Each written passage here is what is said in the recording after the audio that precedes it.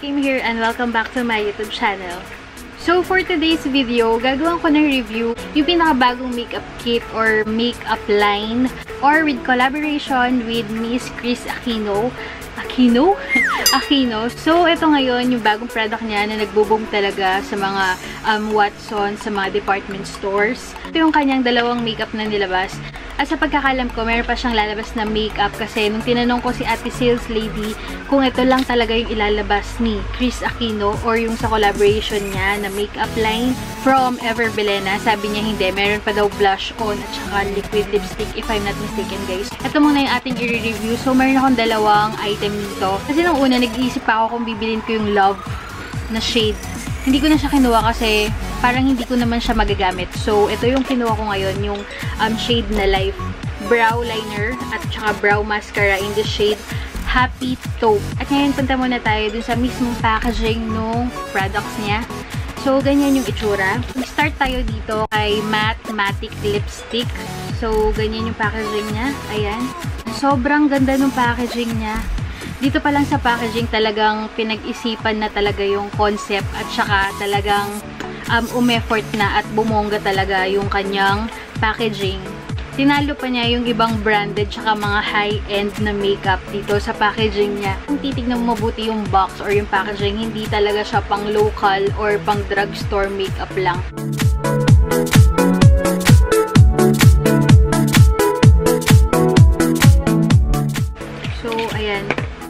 Ito yung itsura nung matte lipstick niya. Yung body ng lipstick talagang kakulay niya mismo yung nasa loob or yung product.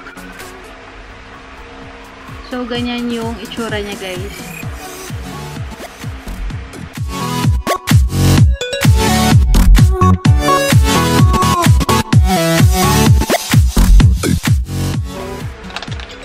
Ayan. Ganito naman yung itsura niya.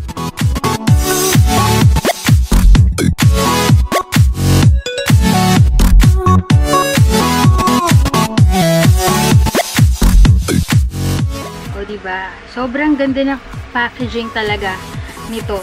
Ang ganda or ang galing nung nag-concept mismo nung product. Medyo ano, parang hindi siya ganun kabuo yung kulay niya sa isang swipe. Pero ayan, kung uulit-ulitin mo, dun mo makikita yung shade niya. Tignan natin.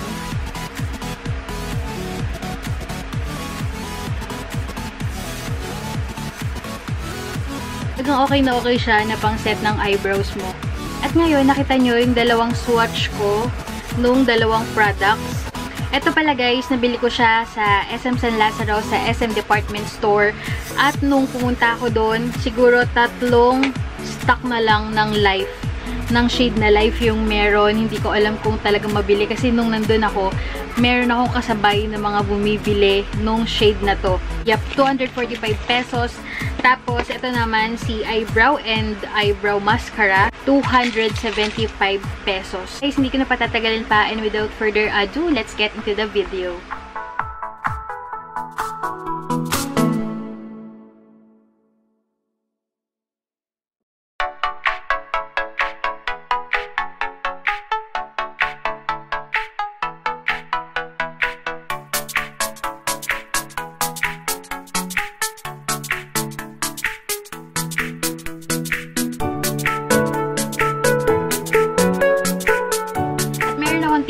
Guys, kung gusto nyo maging lively pa yung color or shade na nasa lips nyo, gamit itong Everbelena na matte lipstick ni Chris Aquino in the shade Life. So, ngayon guys, ang gagawin natin, papatungan ko siya nitong Paris Ink Velvet number 1 um, in the shade Sell Out Red. Ito yung pinaka-favorite ko na lip tint. Kung gusto mo lang ng mga gradient effect, Korean look, kahit na naka-lipstick ka, So, ito ang gagawin natin. Ganito yung ginagawa ko, guys.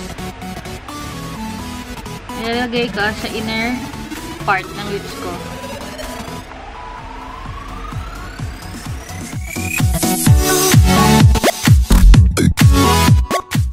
So, di ba nabago yung kanyang shade at saka yung kulay talaga ng lips ko. Ayan na guys, yung kanyang look. Medyo okay na siya. So, ayan guys, yung aking combination ng Everblena matte lipstick at saka ni Paris Ink Velvet number 1.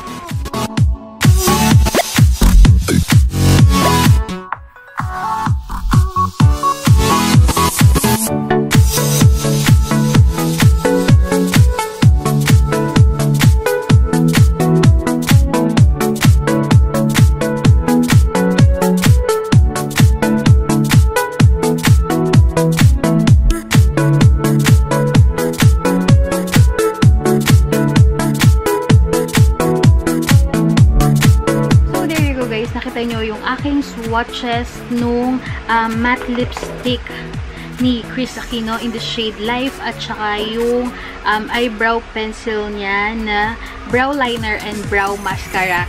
At ayun, mag-proceed na tayo dun sa aking thoughts and honest review para dito sa dalawang products na to.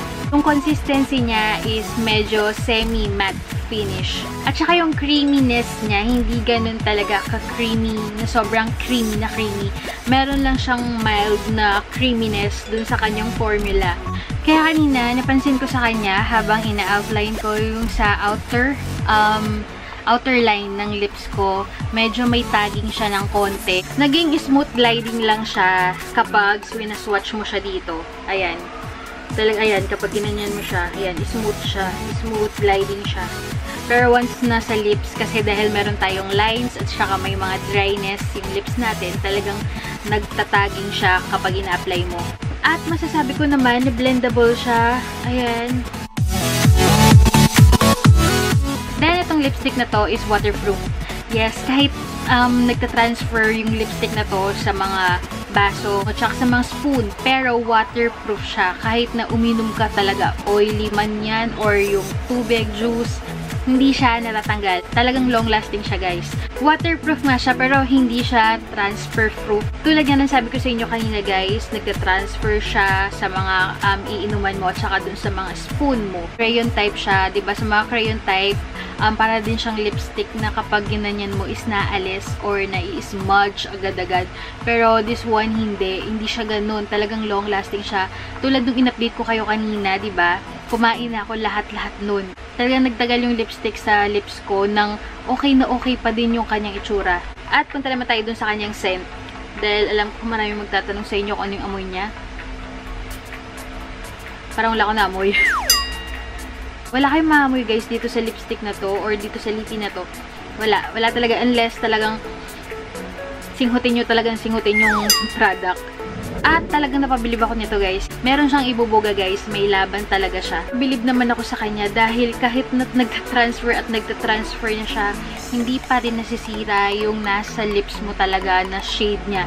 Talagang solid na solid na nandun pa din. Talagang sabi ko sa inyo, si Ever Belena is hindi na siya naglalagay ng paraben na ingredients sa mga bagong products ng Ever Belena thank you ever Belena for doing that kasi talagang malaking tulong yung mga products na walang paraben. At last guys, kahit hindi siya kay Miss Chris Aquino, gusto ko pa rin siya. Bibilin at bibilin ko pa rin siya dahil maganda. Maganda yung product, maganda yung shade. Ang favorite na favorite ka na and okay siya sa akin dahil ginagamit ko siya everyday. Talagang everyday guys. Punta tayo sa masasabi ko dito sa kanyang brow liner at saka kay brow mascara. Worth ba siya or hindi? Yes, worth it siya kasi um, for 275 pesos, meron ka na makukuha na brow mascara at saka meron ka ng um, brow liner. Problema ko lang sa kanya, nung nilalagay ko siya, kapag in-outline ko yung outer part ng aking brows, hindi ko siya makontrol. Talagang lumalagpas ako. So, ayun. Yun lang yung problema ko sa kanya dahil sa ibang mga pencil type, nakokontrol ko na maayos. Dito hindi. Siguro dahil mataba yung kanyang, ayan, yung kanyang tip, guys. Natatabaan ako sa kanyang tip. Ayan o. Oh. Medyo mataba. Kung manipis to, baka mas maging okay. Pero okay na rin siya sa akin kasi yung mga lagpas, na re-remedyohan ko naman siya ng concealer. Ano pa ba ang trabaho ni concealer kundi mag-conceal ng pagkakamali, di ba? okay na okay, perfect na perfect yung kulay niya. Yung kanyang um, pencil, hindi siya ganun ka-pigmented, yung sobrang waxy or yung parang creamy type. Yun, hindi siya ganun. Talagang pencil na pencil type siya. Yung one swipe, hindi mo pa makukuha, so kailangan mo talaga siyang i-ganon. So, makokontrol mo talaga yung pag um, lalagay mo. Ako kasi guys, hindi ko talaga siya makontrol dahil medyo malaki siya. Pero overall guys, okay na okay siya. Para sa akin, okay nga to sa beginner kasi alam niyo yun guys, yung pagka-light nung shade nitong um, brow liner niya or nitong pencil niya is okay for beginner. Hindi masyadong harsh yung kulay at saka mapapantayan niya kapag nilagyan niya ng ito, brow mascara. At saka, one thing pala guys is, ayan, and kung makita nyo, sobrang liit nung kanyang, ano tawag dito? Spoolie brush. Ayun, yung brush na talagang okay na okay at perfect na perfect yung size niya for your eyebrows. So, Ganda. So, yun guys, yung aking thoughts and review para dito sa dalawang products ni Miss Chris Aquino. Sobrang worth it niya for me for 245 pesos and for 275 pesos. Okay, meron siyang ibubuga, may laban siya guys and locally available siya. Ito sa atin guys, sa Watson meron, sa Everbilena, sa lahat ng Everbilena stores or branches meron ito guys. Hindi lang siya worth the hype talagang worth it na worth it siya guys. And ayun, thank you so much guys for watching this video and don't forget to click the subscribe button below and like this video. Thank you so much guys for watching and see you on my next one. Bye!